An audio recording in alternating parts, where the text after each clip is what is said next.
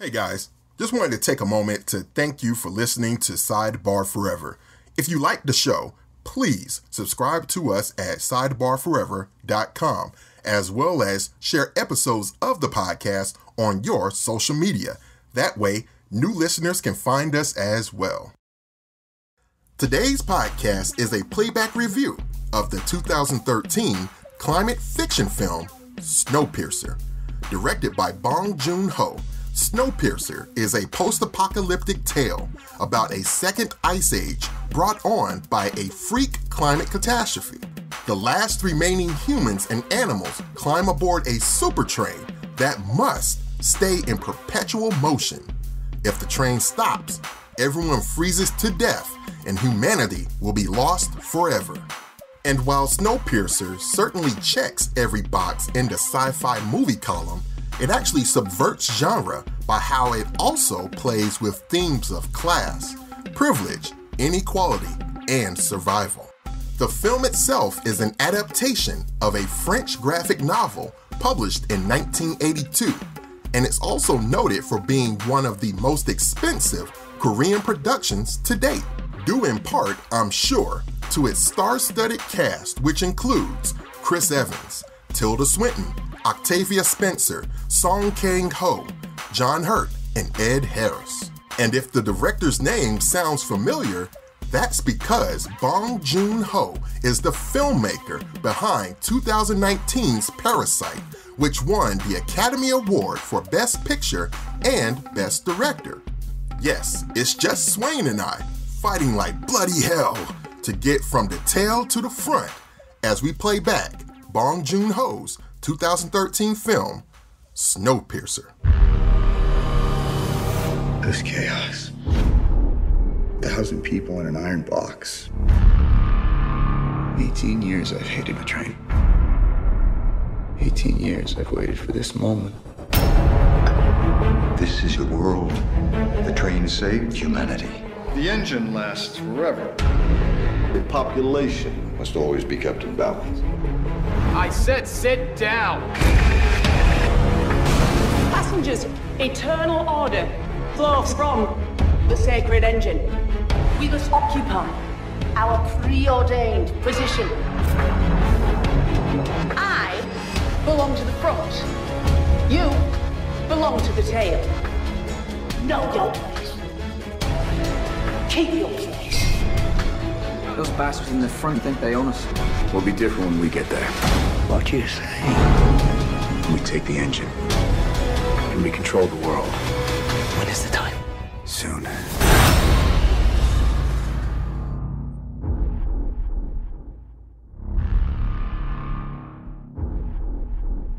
Most people know the name Bong Joon Ho from his 2019 box office smash Parasite, but today we wanted to talk about one of his earlier films, Snowpiercer, which was released in 2013.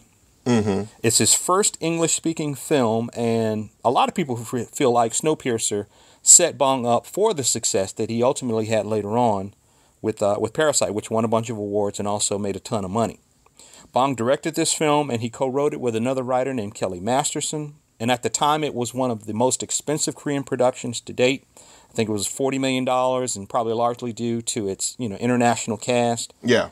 Now, the story of the film takes place in 2014, and the threat of global warming is imminent. So, in a last ditch effort to stop it, the science community of the world decides to launch this chemical into the atmosphere called CW7 in an effort to cool the Earth.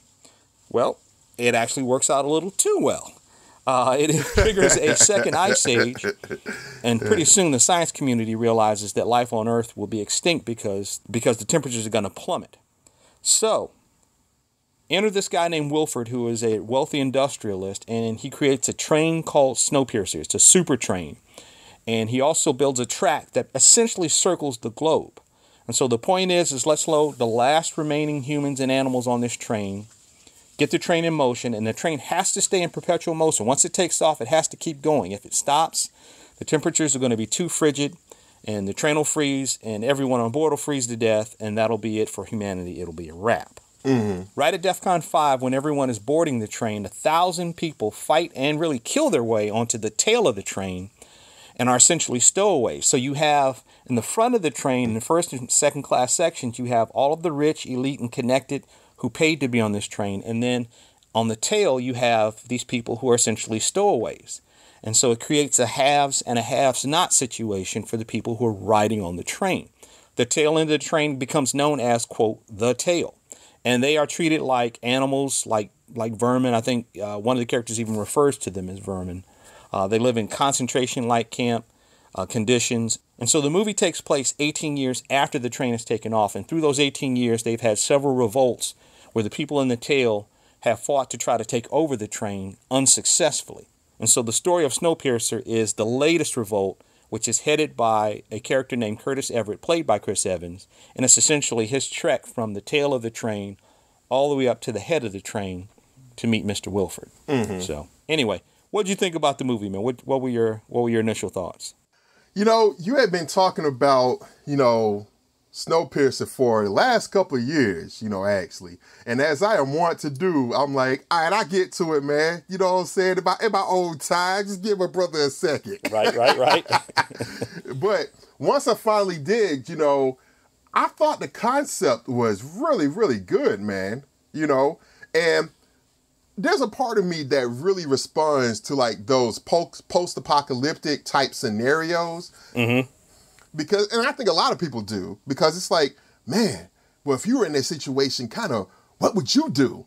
So it's interesting to see what someone else does, even if it's fictional, of course. Um, as far as the movie itself, I, I think I described it to you. I saw so many pieces of other things that I had seen that may or may not have been influences. I was like, it's like 1984 meets Dark City meets Brazil meets Wizard of Oz. yeah. you know, because it's like, man, it has elements of all of that from the uh from the uh, production design, you know, which was great. I you know, when they would move like when they when they would progress from car to car, it was like, oh man, what's the next car gonna be like? Wow, this is man, this is very well done. Holy smokes. You know what I'm saying? And then them starting from the dregs, literally from the back of the train and working their way to the front, you know, that's obviously an allegory for classism, you know, just, you know, out and out, you know, classism. And that always does it for me. You know, just like you, you want to see the underdog come up. You know what I'm saying? Even if it's through blood and, you know, just crazy violence, whatever. Yep. What happens when the underdog comes up and finally achieves their goal? You know what I'm saying? So it's stuff like that that really makes this um, movie very good to me. And I was also very impressed by uh, the performances too. In particular, Chris Evans. You know, because this is just him, like maybe a year or two after the Avengers. Which to me, I know it's as crazy as it sounds, but him playing uh, Steve Rogers and Captain America, to me, that's Chris Evans's, not Evans's, but that's his breakout role for me. You know, that's the one where it's like, all right, okay, then this guy's legit now. He's legit. And Snowpiercer kind of um, embellished that legitimacy, you know, of him for me. You know, I was like, he actually did very good, especially like towards the third act. You know, it was like, all right, he has he had a couple of moments there where it was like, yeah, okay, he, he's really showing a bit of range here. All right, I can, I can get with this. You know what I'm saying? Yeah, man. Okay. So so overall, you know, just to just to be short, um, I thought it was I thought it was pretty good. The third act, though, you know, it's a it's a bit clunky. I, I will admit that. You know what I'm saying? But everything else before then, and even parts within the third act, are still pretty good, though. Cool, cool. Yeah, uh, what you said about the uh, some of the the themes in the movie. I mean, clearly this is uh, this is a genre film. I mean, climate fiction, science fiction, what have you. But at the same time, you know, the way it plays with those themes of class, privilege, uh, inequality, and then also survival. You know, what one would ultimately do to survive. Yeah. You know, and there are things that come out in the film in terms of what you know what these people had to do in order to to live was you know it's it's it's incredible. It's incredible and it's like heart wrenching. Like when you hear, you know, like what you're talking about that third act section where uh, Chris Evans has a he has this kind of a uh, it starts as a dialogue and then turns into a monologue with uh with ne- with Nam Goong's character. Mm-hmm. But um but yeah, man, it's uh and and funny you should say that too because this movie was adapted from a uh, a French graphic novel called uh Le Transperceneige. Okay. Came out in 1982 and I think Bong Joon-ho, you know, he stumbled upon it, really fell in love with it, and then you know got the rights and eventually started developing it, you know, into a uh, into a feature film. But once people heard that this was going to be a feature film, uh, Chris Evans actually sought him out, sought Bong out, you know, to try to you know to try to get the role. And Bong Joon Ho said initially he was like, eh, he thought Chris Evans, you know, he was he was too you know too good looking and, and, and too you know cock diesel and too you know too Yeah, muscle bound you know, to play somebody who's essentially living almost like a concentration camp person, Right. you know, under really grueling conditions. But he said he met with uh with with, with Chris, and he said he, he he found him, you know, to be like really sensitive and and and kind of shy, and uh but you know but thoughtful, and he was not the person he thought he was.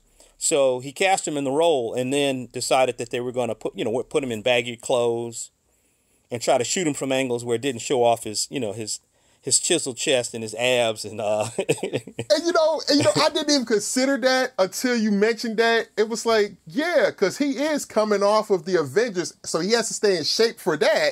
Because he's still doing those movies. Okay, yeah, that makes sense. Yeah. yeah and and it certainly would you know in a in a perfect world you know it would have been great for him to you know lose you know 15 or 20 pounds you know like Adrien Brody did in the uh I think in the pianist Yeah. you know you know you know and and really kind of you know look look a little frailer than he actually is But but if he had lost that weight, I, I think his character wouldn't have appeared as as um as strong or maybe forthright. You know, going into like those later scenes where he ha- has to do battle. You know, I don't think it would have been believable if he had weighed less or looked a bit more slight. You know what I'm saying? Yeah.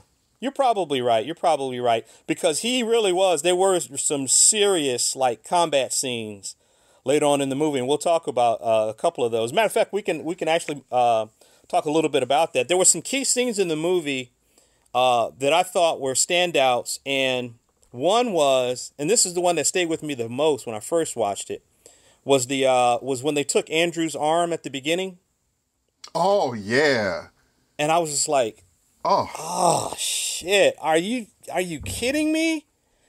Um, and for anyone, you know, for those who haven't seen the film, um, in the movie, Andrew, they take Andrew's son, and Andrew is Andrew is a you know, it's kind of a wild character, and he he Yeah. he throws something at one of the uh, one of the head people, and injures them. So they decide they're going to take his arm. So what they do is is is, is he they, they he's topless. They take his shirt off.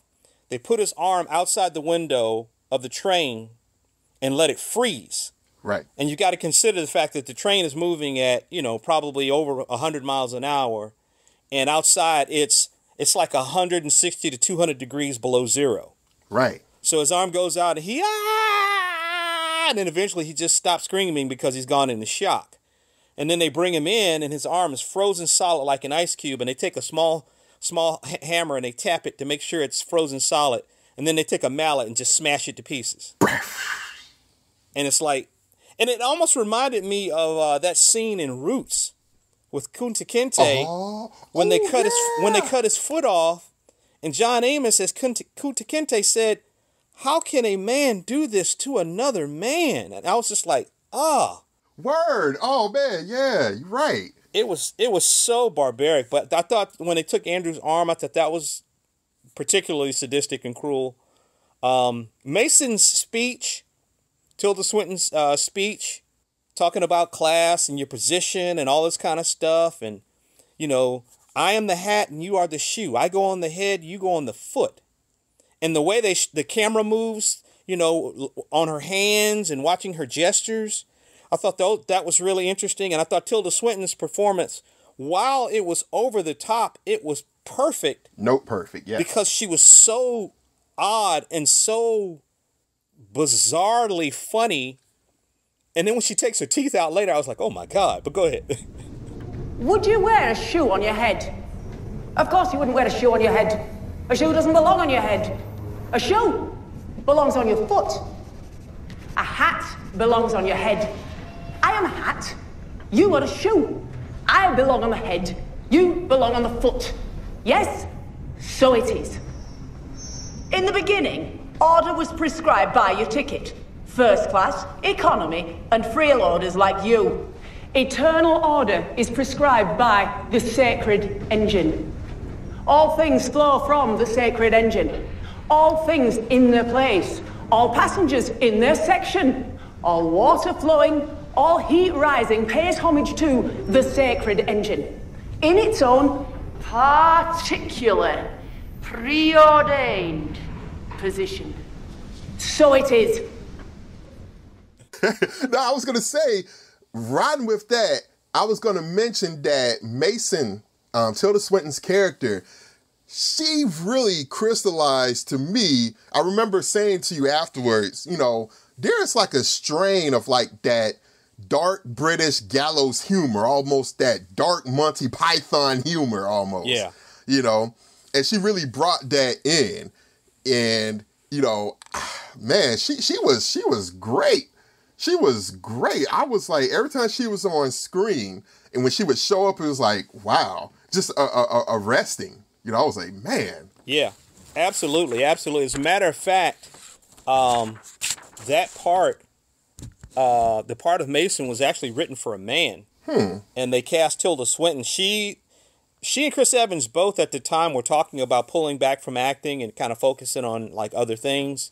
I think he wants to direct, and I think she was just wanting to take a break because she's she's been pretty busy. Mm-hmm. Uh, but again, when she heard that this was in production, she became interested, and they cast her in the part, even though it was written for a guy. But if you pay attention in the movie, there are a couple of times where Wilford's soldiers on the train refer to her as Sir.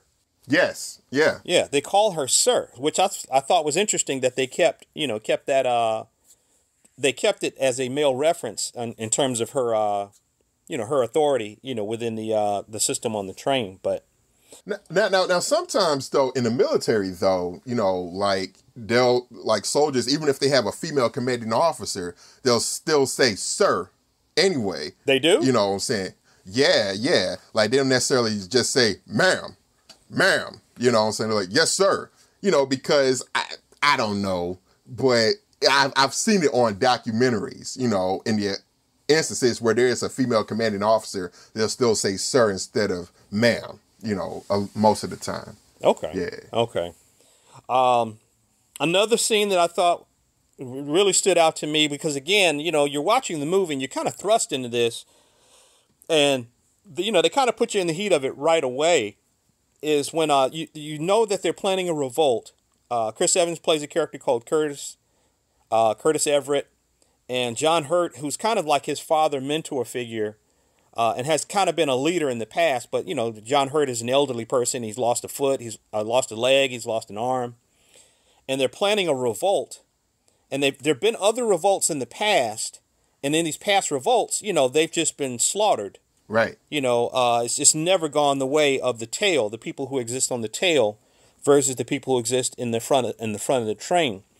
And so they're planning another one, and Chris Evans says, I don't think they have any bullets. Mm-hmm. And he's like, What? He's like, Yeah. He said, I think they ran out of bullets on all the previous revolts, and they're just using the guns as you know as a, as as a symbol to intimidate them. So at one point, you know, this, during the first that first revolt, he gets up and he walks up to the guard. And he puts grabs the barrel of the guard's gun and puts it up to his head, and then he grabs the, the trigger and clicks it.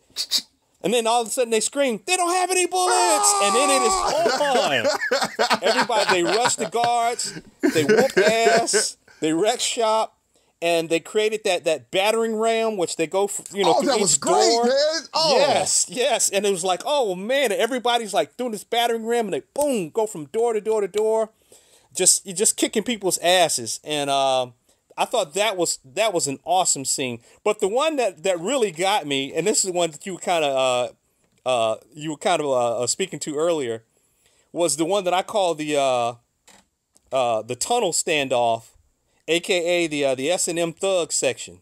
Oh man, hey, that that thing right there. I re- you know I did catch myself. I did gasp when that door opened. Yeah. And you just see like them dudes like just in the executioner's hood. Yes. oh shit. Yeah, and, and black black leather like rain jackets with hatchets and saws, and they're like smiling and laughing, and like you can see their teeth, but you oddly can't see their faces, so they look kind of monstrous at the same time. Yeah. And even be- and before they open that door, remember uh, uh, Nemgoon's his daughter Yona, she said because she's clairvoyant, and she said, "Don't open that door."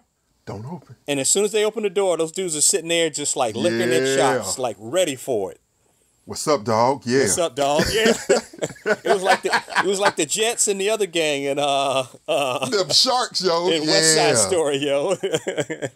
And, and, and then that whole that whole battle, like that next, however long those couple of scenes after that, you know, um, endured, man. So inventive, so inventive. I was like, damn, yeah. damn, it's crazy. I was the the the the, the scene where they go through the tunnel and uh and Wilford's thugs put on the night vision, so it's completely dark in there, and the only light is from like uh, uh I don't even know where the light source is from, but I think it was it was nat- they shot it with natural light, but they were just skewering those guys. Yes. But when they look when they first opened the door and I saw them all dressed in leather, I was like, okay. And they were all like laugh. They had like kind of weird smiles and stuff on their face. I was like, okay, y'all gonna fight or fuck? I mean, what is? what are you? What are you dressed for? Man, uh, dog. Oh man. But and then when they asked for the little boy who had the matches Yeah. that he had gotten from Nam, and like, we need we need the light, we need the we need the fire. And he's running like like the Olympic Like the torch bearer.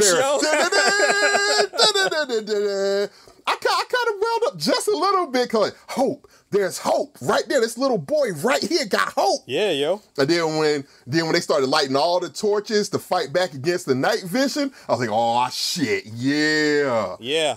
And when at the at the end of the scene when they got when they got Mason, and Curtis had to basically sacrifice Edgar, Oh yeah. and it was like, oh, he he t- just turned his back and just ran, and they got her, and you know Mason got, I mean uh, Edgar got uh got stabbed in the back, but that was a good scene. The classroom scene with the teacher and the kids, uh, these kind of you know like brainwashed automatons, the the, the next generation, you know. Wilford, Wilford is the is the, the divine and the merciful. You know, if you go outside, you will die. Isn't that right, children? Yes, you will die. If you go outside, you will die. As hard as it is to believe, people in the old world made fun of Mr. Wilford. They criticized him for over engineering and over equipping this wonderful train. But Mr. Wilford knew something they did not. And what was that? Old world people were frigging morons who got turned into popsicles. Well, sort of. Mr. Wilford knew that CW7 would freeze the world. So, what did the prophetic Mr. Wilford invent to protect the chosen from that calamity? Yes! Rumble, rumble, rattle, rattle, it will never die! You know, it was you know, they kind of reminded me of like Pink Floyd's The Wall, Yes, yo. yes. Again, it's it's it looked like a British like schoolmaster type of scene, that type of situation. You know, yeah. Yeah, I thought so too, man. I, I, I, I that whole scene, and I thought they, that was another scene where I thought they spent an inordinate amount of time standing around talking. But it was the setup that Yeah. plot twist that came. Right, right, right. But I was just like, the, the first time I was like, what? Why are we still here? You know, why are we still in this classroom? You know. Yeah. Um, And then, uh, of course, when he meets, finally gets, he finally breaches the engine door and meets Wilford. And they start having the conversation, and Wilford starts talking to him. And then you get a sense of who Wilford really is. And Wilford is played by Ed Harris. And, and Harris's performance as Wilford in the movie is oddly similar to his performance as Christof in the, uh, in the Truman Show. Mm, mm, yeah. you know where he's kind of like this uh creatively brilliant guy but he's obsessed and kind of disconnected from his own humanity. He doesn't realize you know that people aren't puppets and pawns and, and aren't you know you know uh, pieces on a chessboard or on a checkerboard to move around. But you know you do get a sense you know the, the, the conversation that they're having and some of the things that he says to him like he says he says you know we're all in prison. He says everybody on this train doesn't matter whether you live on the front or the back we're all in prison. We're all in this metal tube and can't get out. Mm-hmm. and we're stuck here. And to the point where you realize what a commodity what commodities are on this train. He takes him into the uh, into the into the room where the uh, where the eternal engine is. That's what they call it the eternal engine capital e capital e. And he says curtis when was the last time you were alone? Oh and he just yeah. walks out of the room and leaves him by himself. And you get a sense okay chris evans' character curtis this is the first time he's been able to be in a room and think by himself even if it's just for a minute Yes, yes. for the last 17 years. This ba- this basically the the the climate uh, catastrophe takes place in 2014. This takes place in 2031. And when Chris Evans' character boarded the train, he was 17 and now he's in his mid 30s.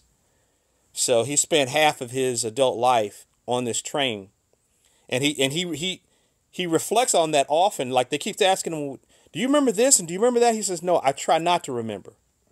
yeah. I try not to remember because it's going to be torturing me too much. I just I try not to remember, you know, what steak tastes like and what, you know, all those other things taste like. But and then you know that ending scene, uh, you know, where the train crashes, and Yona and Timmy come outside, and it's almost like, you know, like settlers in the in the in the new world, or Yeah. uh, you know that kind of a thing where it's like, okay, well, you know, wow. But um, jumping ahead to that, man, what did you think of the ending and how they spun it with uh, Namgung and him talking about, you know, what he was seeing and the plane and all of that, and the ice melting, and then you know different kind of snow and all of that stuff. How did how did that work for you as a, as a as a cap as a cap on the uh, the end of it? Um, when, when, he, when he said it, when they went across the bridge, and when, when he was talking about what the location of the plane, mm-hmm. I did recall when they crossed that bridge that there was a shot down there. So it's like, okay, it's, it, it, it was a Chekhov's gun. They did show it, you know, down there. So it wasn't a cheat. But to come to the end and him talking about, oh well, it's different types of snow, and that means that because every every year that we've passed it, the snow has decreased, decreased, decreased. It's melting. You know, it's like okay, so all right, and then they get to the ending and they're outside and they see and they see a polar bear. The polar bear was like, "What y'all want? Right. y'all?" You do know I'm hungry, right? yeah, exactly. That, that's that's what I thought. I was like, oh shoot, what y'all Right. doing? Right. What y'all want? I know it's supposed to be this rele- relevatory thing. It's like, but I thought all life was extinct. I guess not. Dun-dun-dun. Right, right, right. And and really and truly, like I, I have to kind of question the uh, the chronology because just a few days before they stuck Andrew's arm outside, it was 106 degrees below zero and it froze off. So now two days later, we're convinced, you know, and granted they're in a different part. You know, like the train is moving so fast that they're actually in a different part of quote, maybe not the world, but a different part of whatever country they were in. Uh huh. But but even still, I was just like, okay, I thought you couldn't survive outside. yeah. I mean, yeah. you just showed us how harsh the conditions are. You know, when uh when they took Andrew's arm. So, but I thought it was a cool idea that as bad as we could fuck it up, you know, that the Earth and that the world is going to find a way to fix itself. It's going to right itself. You know, no matter what, it's kind of like you know, like the cockroaches. You know, when, when we're dead and gone in, in a nuclear holocaust, the cockroaches be like, "Man, I'm still out here trying to find these scraps. I'm still out here trying to find these bits of whatever I can, so I can do my thing." You know what I mean? Yeah, and, and that's like that line from uh, Jurassic Park that um, David Attenborough had. He said, "Life will always find a way." Yeah. There you go. Yeah. There you go. There you go. Um, so yeah, I thought that that was it was a cool idea. Maybe the execution of it could have been could have been fleshed out a little bit more. I wonder if that's how the uh, the graphic novel ends. You know, if it actually ends exactly the same way, or if they took you know creative license and kind of did their uh, did their own thing. Mm-hmm. But um, as far as the rest of the cast goes, man, um, we talked a little bit about Swin- Swinton and Chris Evans. What did you think about Octavia Spencer as Tanya, uh, and Song Kang Ho as uh, Nam Goong, and I forget the actor actors who played his uh, his daughter Yona, and then you know John Hurt also as uh, as Gilliam because you were talking about his name Gilliam, uh, maybe even possibly be, maybe being a reference to Terry Gilliam. I don't know. Right, exactly. You know Terry Gilliam, obviously the director of Brazil, um, Time Bandits. You know um, several. Um, not, not I wouldn't say cult movies, but movies that have very much a devoted following, and they are very much in that this dystopic realm. Right. You know what I'm saying? Right. Um, but yeah, first off, I mean John Hurt, that that just adds instant, instant legitimacy to the cast. I mean, you got John Hurt, yo. Yeah. You know? Yeah. Just man, he he was good in, in the in the bit that he had. It was like, yeah, yeah, he he's working it. You know what I'm saying? And he just gives you that that um that gravitas for real. Um, as far as Octavia Butler, not Spencer. Octavia Butler, another sister deserving of recognition, but Octavia Spencer. Right, right, right. as far as Octavia Spencer, um, I, I thought that she was very good too. I know what you're gonna But say. the part, yes, you know exactly where I'm going. I was like, dang, wh- it was kind of unfortunate. Dang, what was what was the circumstance to where she was up there yelling, "Chicken, chicken, chicken"? I was like, why she got to be the one to say it? You couldn't let Edgar say that? Damn, yo. We want some chitlins, chitlins. You might as well. I want some hot sauce. neck bone, neck bone. but yeah, yo, that aside, that aside, she also gave you like that that dramatic gravitas that was needed too. You know, like early on in the movie, I like how they established all of that early on, very briskly. You know, and I think that may be what you were referring to as well, because the movie starts off very briskly. I mean, it establishes everything very, very succinctly and very. We're building the blocks here. Boom, boom, boom, boom. This is the setup, you know, and it moves along. And when they take her son, Timmy, you know, and she gives you that, no, don't take my boy. No, no, that type of thing. It's like, okay, now she got a reason to come along too. And because you also need that that um, feminine presence, so to speak, too. Like my motivation is to get my son back. They took my son. You know what I'm saying? So I'm coming along with y'all. You know, so it's almost like you had representation. You know, again that that comparison I made to the Wizard of Oz. You know, and I think it was four of them: Edgar, Tanya, uh, Curtis, and was there one other person? Wasn't it? Oh, well, well once Nam joins and his daughter, it's kind of like the the four. And their little dog too, you know. right. Or they're off to see Wilford. They're off to see the wizard, you know, and they have to go through all these crazy zones to get there. You know what I'm saying? Yeah, totally. Yeah. Oh, and and deepening that Oz comparison, think about it. Wilford, the wizard, you know, sings out these other goons, almost like, you know, the flying monkeys Yes, and all these other yes, henchmen to stop them from approaching Yeah. the city of Oz, to approach what's behind those doors, you know? So I wonder if that also was an obvious comparison, you know, to be made there. That, yeah, this is almost like the Wizard of Oz as well, for sure. Yeah, I didn't even consider that when I was watching the movie. Uh, I was thinking about some of the other things that you mentioned, like you know other kind of dystopian and, and also post-apocalyptic movies, um, like you know 1984 and um, and Brazil and uh, and and others. And Dark City. Yeah, yeah, Dark City.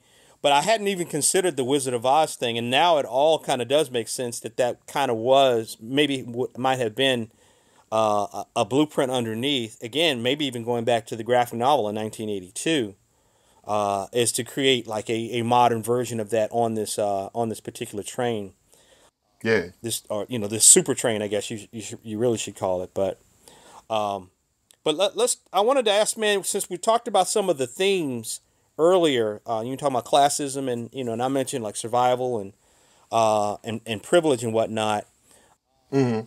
Like some of the stuff that I, that really hit me was, especially watching it a second time, it, and it's it mirrors our own society where, you know, you're living in the comfort of a home with heat and air, and you have food, and you know, and you can take a nice vacation with your family, and you know, you have a Wi-Fi, and you know, all of these creature comforts and all of these accoutrements that we all kind of get lulled into a sense of, of complacency by, and yet a stone's throw away or a, thousand cars away, there are people living in depravity. But as long as we have these comforts, we don't really think about them. We don't really consider what's happening over there, especially as long as, as, as things are flowing over here for us. Right. And I thought about, like, for instance, the idea of the people in Curtis's group who fight their way onto the train right before the train takes off and, and, and, and the ice age becomes a real, you know, a real thing to, to contend with. They fight their way on the train. The ta- the people known as the tail are essentially immigrants. Mm, stowaways, yeah. Yeah, you know, they're they're not supposed to be there. They've come after the fact. The people who are there are suspicious of them, don't like them, barely tolerate them, use them for their own gain, you know, when they can. Yeah. And and are angry with them because they're consuming resources. Mm-hmm. So they're almost treated like immigrants, like immigrants from you know from Latin countries and Spanish speaking countries. They're treated like immigrants. You know, really any any immigrant you know in, in, in the history of America. I thought that was interesting. And then like the top one percent, you know, which is what the front of the train is.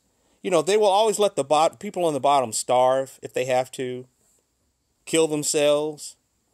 Uh, there's cannibalism on this train, so they'll let them eat themselves in order to remain in power and to keep the quote balance. And uh, and they'll convince themselves in some weird twisted logic that the poor deserve it because they're not supposed to be there. Mm-hmm. You know that kind of thing. Um, another thing that was just funny to me was the fact that, and they kept coming back to it, was that uh, uh, Nam and Yona. Yeah. They was basically some geek monsters, yo. They were like, "You got that chrono? You got that chrono? What's up? What's up, that chrono? Chrono. Hey, I need that chrono. yeah, pretty much. I need that chrono, Joe Rogan. Joe Rogan. I smoke chrono, Joe Rogan.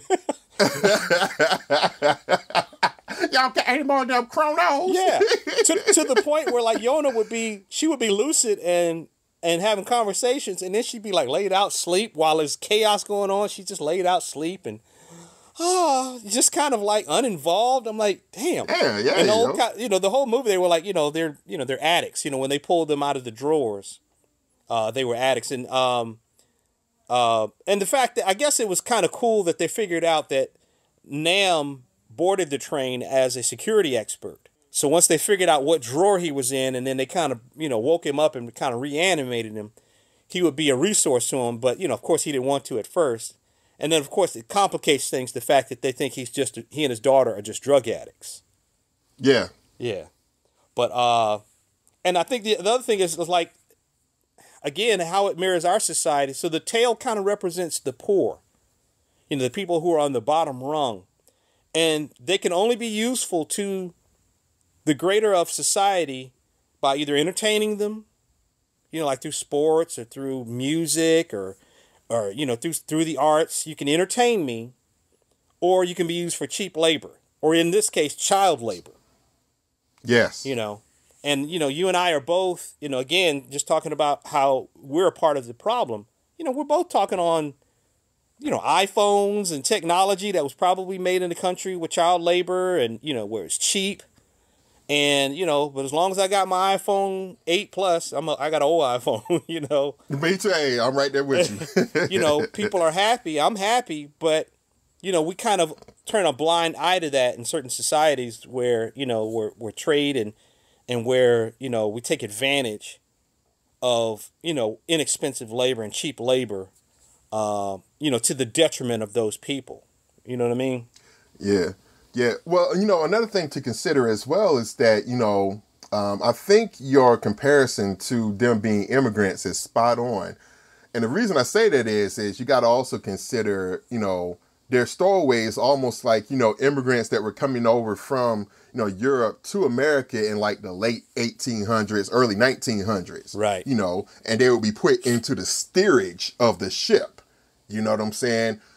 Up above, obviously, would be like you know the rich and the hoity-toity. You know, living under chandeliers, eating the finest food, while third class steerage down below, they were just trying to get across. That's all you know, hopefully there's another opportunity here in America, you know, and it also plays upon kind of that British tradition as well, to where the British, man, if you read like Victorian history, damn, they they was harsh on some kids. Yeah.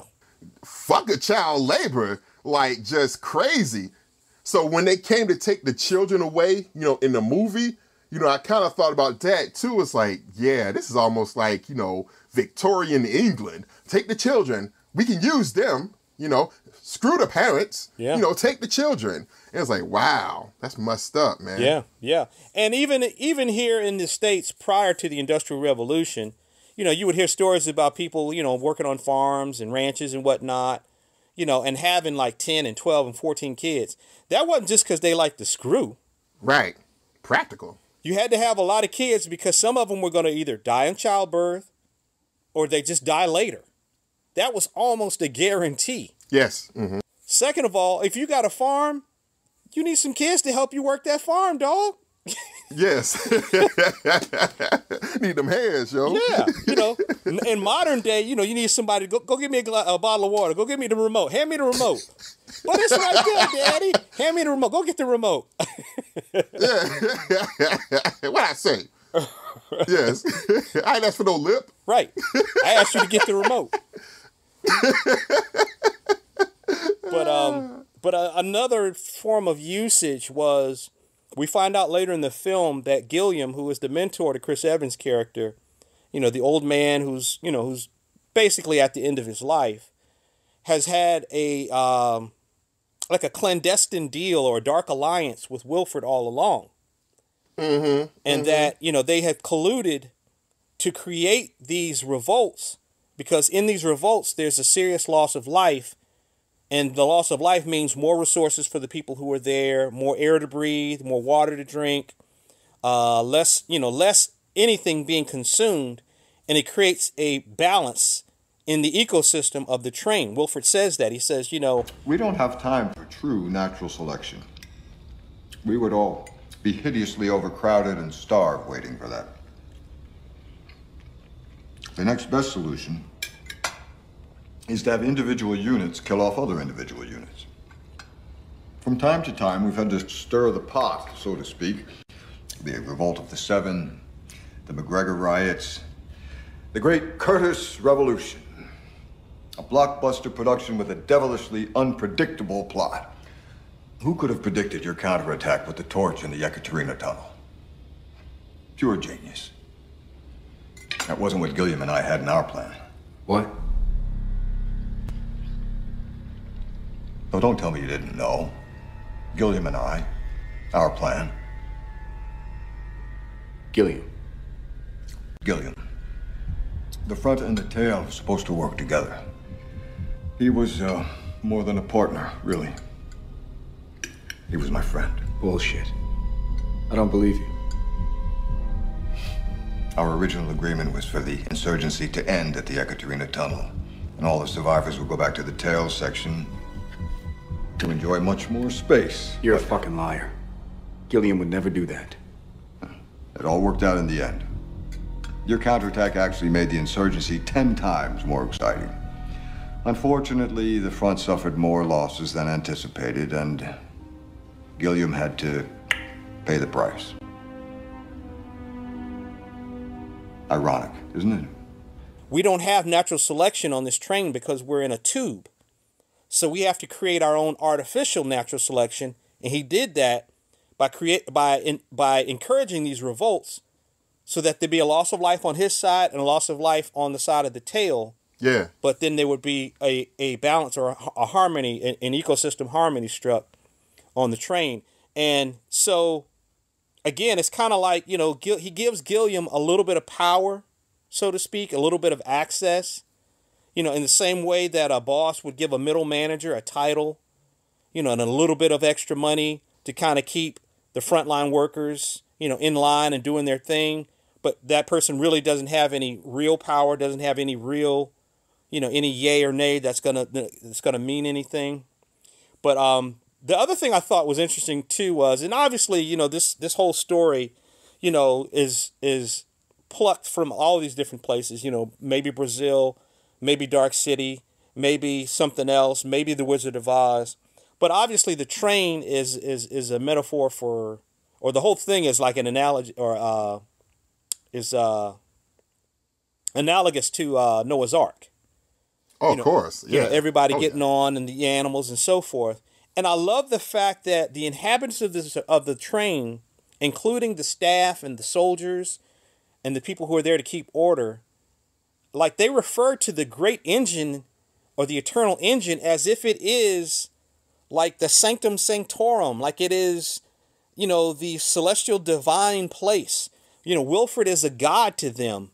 Uh, they even refer to you know they say that the the, the engine is is sacred Wilfred is divine and merciful Mm-hmm.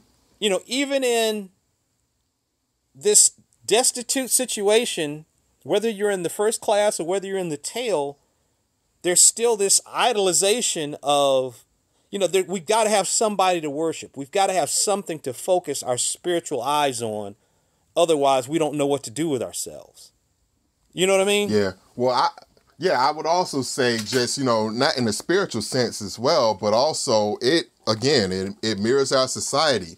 Everyone is always looking up for a better life. You know what I'm saying? If I just make this much more income, if I just get this, you know, my family and I can have this, or I can finally get this house, I can do this. You're always looking up, trying to climb up that ladder. Right, right, right. And yeah, exactly. Rung by rung, you know, you want to advance, you know, and because it's a pyramid, you know, the broad, the, the base of the pyramid is very broad. You know, that's the tail of the train, and the higher you go, the narrower, the the more narrow that pyramid becomes. Obviously, you know what I'm saying. And it's just like everyone's always looking up, you know, either for you know spiritual guidance or just man, I we got to do better. How do I advance myself? You know what I mean? And it's just, yeah, I mean, it's a perfect analogy. You know, I was also thinking also, you know, with Gilliam being at the tail and him and uh, Wilford talking, it's almost like that there's a there's a snake in mythology called I hope I'm pronouncing it right, um, Urboros or Urboros or something like that. I, mhm You can look it up, but it's basically a snake that eats its tail. You know what I'm saying? And if, and even though the train is, Eh, you could call it a snake in some way, but because the two ends, the two extremes are communicating, it's almost like eating itself constantly to invent these revolts so that it can right itself. And mm-hmm. then some years later, it's going to have to happen again in order to right this thing again. So even though the train is straight, it's circular logic in a sense. You know what I'm saying? Yeah, I didn't even think about that, but yeah, you're right. The fact that the head and the tail are speaking to one another and that they're connected uh, is kind of like that snake eating its own tail. Uh, uh, that, that that you know that you hear uh, mentioned uh, as, as it's a cliche, but obviously I didn't realize it was a mythological creature that uh, that actually does it. If I'm not mistaken, yeah. Yeah, Mhm. yeah. Um, the last thing I thought was really interesting was is, you know, we're left to believe that Timmy and Yona are the only survivors of this crash. Perhaps there are others, but you know, in the sense of that final scene, the last two people left to repopulate the Earth are two people of color. Right. I was like, okay. That's kind of dope, yo. I'm sorry. It just is. it just is. But um, some of the cool, there were a couple of quotes I thought were really interesting in the exchanges. Uh, when Wilfred and Curtis are talking, and Wilf- Wilfred says, Curtis, everyone has their preordained position, and everyone is in their place except you. And Curtis says, that's what people in the best place say to people in the worst place. Mm-hmm. And I was like, gut punch, gut punch. Yeah. And then Mason, you know, Tilda Swinton's character, says, you know, now as in the beginning, I belong in the front. You belong to the tail. When the foot seeks to play the place of the head, the sacred line is crossed. Know your place. Know your place. Keep your place. Be a shoe. And then when they put the shoe Put on shoe on his Andrew's head. head before they took his arm, and then later on he put the shoe on, On uh, her. on her head, and they were laughing about it. I thought that was great. Also, too, I wanted to make mention the character. They never said his name, but he was known as Painter, the guy who was drawing and making art. Yeah, yeah. So I thought that was so cool that, you know, in this position that they find themselves in, in the tail, with no resources, no technology, no anything, they can't take pictures. So to document things, they have the artist draw them. Mm-hmm. So he drew pictures of Timmy and Andy, the two kids that they took at the beginning, and that's what Andrew, the father, and what Tanya, the mother, took as they're progressing to the train. They get to the classroom. They say, "Have you seen these kids? Have you seen these kids?" Those were drawings of their kids. They didn't have any pictures of them. The pictures don't, you know, cameras are extinct as far as they're concerned. So are memories in a, in a sense. Yeah. Yeah, and and even that scene where they had captured Mason, and uh, and it says everybody get in, and you think they're taking the pictures. Everybody get in. Curtis, you get in too. You get in, and they're all standing there. And then the painter, the artist, has to draw everybody real quick. I was like, damn, this dude is like, if you get him at a convention, yo, he go- he walking away with all the money, yo. I was like, dang. He was pretty good too. I was Well- like, dang. Well, that's what I was gonna say. Um, one of the trivia bits I, I picked up was uh, Bong Joon Ho contacted the artist from uh, La Transperceneige, uh, a French illustrator named uh, Jean Marc Rocher, I think is his name, and he pro- he did all the artwork for the painter. What? And and some of the artwork that's in the classroom in that classroom scene is hang on the walls. That's his artwork. Oh, snaps. Yeah, so he was able to bring him in and actually gave him a job, you know, uh, to be a part of the uh, of the production. And that work was good. I looked up that guy's uh, his stuff. Uh huh. It's very cartoonist, you know, very kind of Toth, kind of uh, uh, golden age cartoonist like. Like it's what you would call some good ass comics. That's what it looked like. Some good ass comics, yo. Yeah, yeah. Um, and I think they actually did an English translation of it uh, a few years before the movie, a couple years before the movie came out. So, uh, so th- there is an English uh, English version uh, of it um, available. But uh, and then the other thing was uh, when Mason says, uh, "My friend, you suffer from the misplaced optimism of the doomed." Yes. Oh man. oh my goodness! But uh, some other trivia that I uncovered, and we can we can get ready to wrap it up. Was um, I I don't know if I mentioned this earlier, but this is Bong Bong Joon Ho's first English speaking film. Ah. Um, okay. And and oddly enough, Parasite, which followed this, was a Korean film with subtitles. mm-hmm. So and that was an even bigger success for him than this one was. So you know, people are always, oh, you know, you got to put it in English so that you know, Amer- you know. And Bong Joon Ho said, you know, one of the things that his, one of his hopes from the success of Parasite is that you know audiences, you know, in Europe and in America will start to more fully embrace watching movies where you have to read a little bit. Yeah. You know what I mean? Watch a movie with subtitles where you have to read a little bit, and you'll see some different kinds of cinema, some different kinds of filmmaking, and different stories uh, being told. He's got um, other films he's done. He did Parasite. He did a film called The Host. He did a film called Agja, with I think it's pronounced Agja. It's like a monster movie. Uh, and I'm watching another one of his movies now called Memories of a Murder, Mm, okay. or Memories of Murder. Actually, it's very good. It's very good. Is, is it on? Is, is that on streaming at all? Yeah, it's on. uh I think it's on Hulu. If you have Hulu. Uh, but yeah, it's on there. And Song Kang Ho, who plays Nam, he's in that film. Ah. yeah, he's in that film as well. And clearly, that guy's a star. Yeah. When he's on screen, you're like you're paying attention to what he's doing. I'm following his energy. Same thing in this movie. It's it's kind of like a uh, it's a police uh, uh, murder investigation. That's what the film is about. But when he's on screen, you're watching him. You want to see what he says. You want to see what he does. You want to see how he behaves.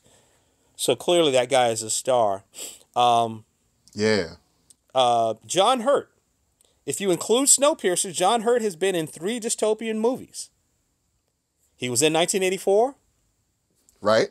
He was in V for Vendetta. Mm-hmm. And now he's in Snowpiercer. Uh, the other thing I was going to ask you too was, and as it relates to the idea of uh, uh, genre, Yeah. uh, do you find yourself to be, and I guess you kind of answered it a little bit in the beginning, to be someone who likes dystopian movies and post-apocalyptic movies? Because oddly enough, Snowpiercer is both. It's post-apocalyptic and it's dystopian at the same time, and and every movie is not that. You know what I mean? No, I got you. I got you. And and it's good that you make that distinction too, because I think people try to use that interchangeably, and and it's not. It's not. You know, post-apocalyptic obviously means like you know the civilization has changed radically. You know, after this, you know, Gotterdammerung, you know, or something like that. Right, right, I love right. saying that. Yeah. I want to say that, but uh, but but you have that type of thing, and dystopian is it? Yes, it's a different type of civilization, but it's not after this uh, cataclysmic event. It's this civilization falling in step to this new order of things. Right. You know, that is oppression, uh, interference, uh, lack Mhm. of lack of control over your own life, following a, a lane.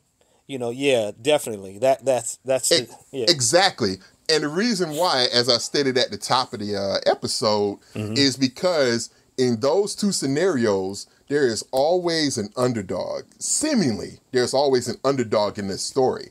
I mean, you think about other dystopian um, um, fiction, like, you know, Fahrenheit 451, um, you know, other things like that. You know, you have this one person, you know, 1984, you know, is always this one character that's trying to fight back against this dystopia, you know, and oftentimes it's hopeless because whatever this new order is is greater. This oppression is greater than this one man but all sometimes all it takes is one person to start this revolt you know? And we kind of see that inside of snowpiercer as well you know what i'm saying? It takes one person to stand up and everyone galvanizes behind that one person to say you know i think we can do this. I think we can actually turn this thing around.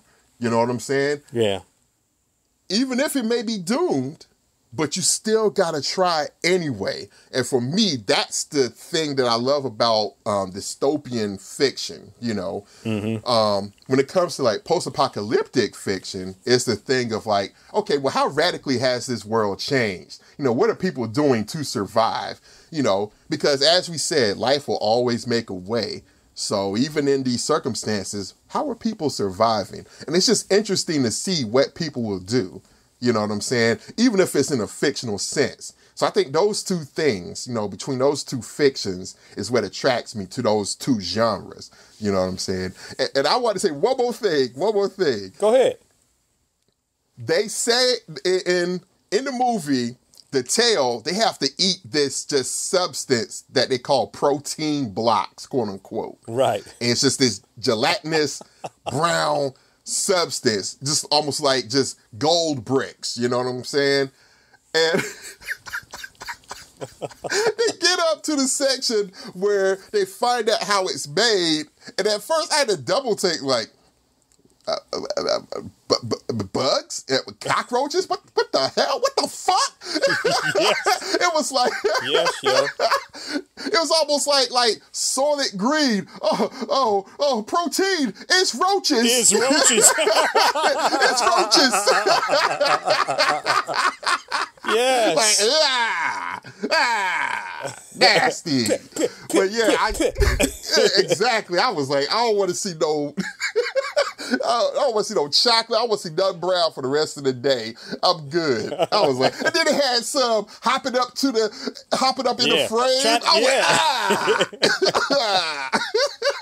ah. Look, and he, he Curtis was like, oh. Yes. And then he tur- he turned to the painter. He said, "You can't draw this. You can, you cannot draw this." the, the artist was like, yeah, yeah, I agree. No problem. I'm cool.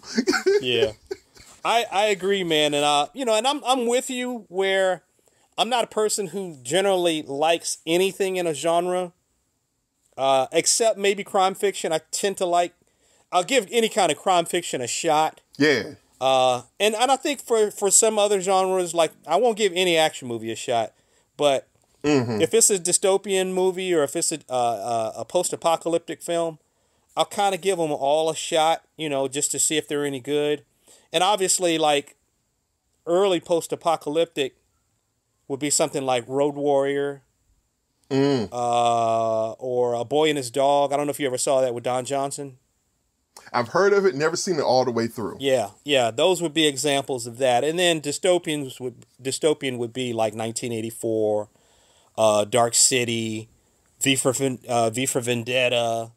Um, you know, there there are you know many others uh, that that we could probably come up with, and I, and we kind of touched on a little bit of that when we talked about cyberpunk as a uh, Mhm. as a genre because it tends to marry itself with dystopia. You know.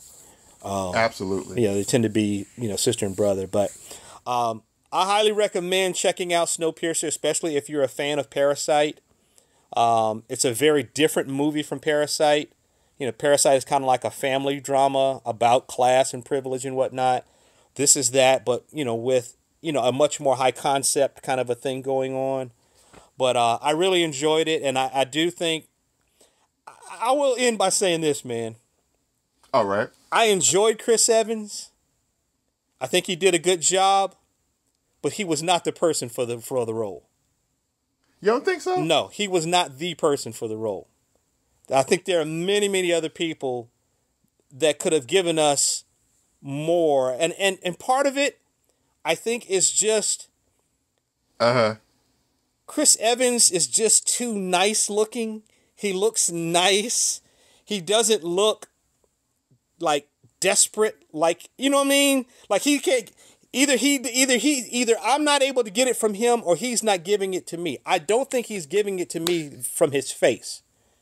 And that's that's something that I find with certain actors like like when I saw uh Tom Hanks in uh The Road to Perdition. Yeah, yeah. I'm like Tom Hanks as a hitman you aren't buying it, man. The bosom buddy as a hitman. bosom buddy. oh boy. I just I just never bought it. And if it were a lower budgeted movie and had come out in like the 80s or the 90s, Tom Berenger would have killed that. Somebody like him, mm. he would have killed that. You know, there are there are a ton of character actors, you know, from back in the day that would have killed that. But I just was like, but I mean, again, you know, you got Captain America in your movie.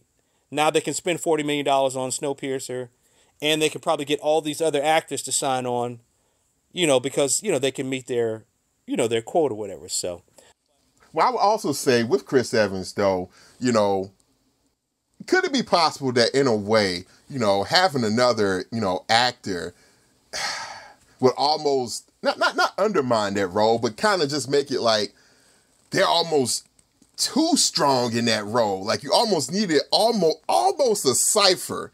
And that's kind of what Chris Evans was. He was he was famous, but not super famous where you get like a Academy Award winner in that role. Right. You know, and it and it kind of changes the dynamic just a bit, just a bit. You know, he's enough of a name to where we can work with him, but he's not going to give you that incredible dramatic performance which, you know, you would maybe want, you know, what you were wanting from that. You know what I'm saying? I, I think you're right. I think his his station as an actor at the time was good. Like if they'd cast Brad Pitt or Oh, you know, right. somebody like that, you'd be like, oh my god, you know. I mean, he just brings a lot of a lot of baggage and a lot of other things. So, like you're saying, finding somebody who's kind of mid tier, who stars on the rise, is good because he does bring that Marvel movie, hopefully, you know, that audience to this film, and so they they probably were able to kind of get a probably get more money, you know, behind the movie because they had Captain America in the part, but at the same time, he was totally uh, he had no no real career. No he didn't have a big career prior to captain america. Like you said captain america is the pivotal point from him. He may never he may never ascend past that. Right.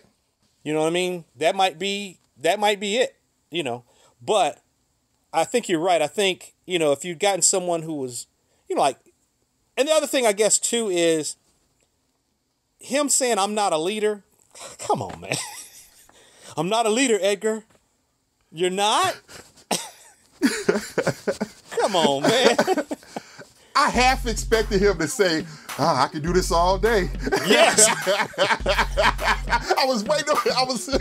Look, when he was when he was running, chasing Mason down on the left. yeah. On the left. On the left. Oh man.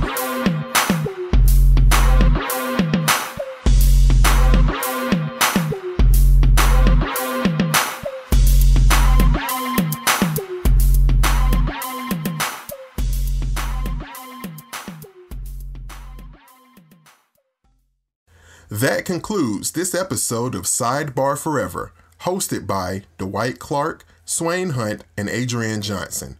You can find us online at sidebarforever.com. Any emails or questions can be directed to us at sidebarforever at gmail.com. And also, subscribe to us on social media. You can find us on Facebook, Twitter, YouTube, and Instagram.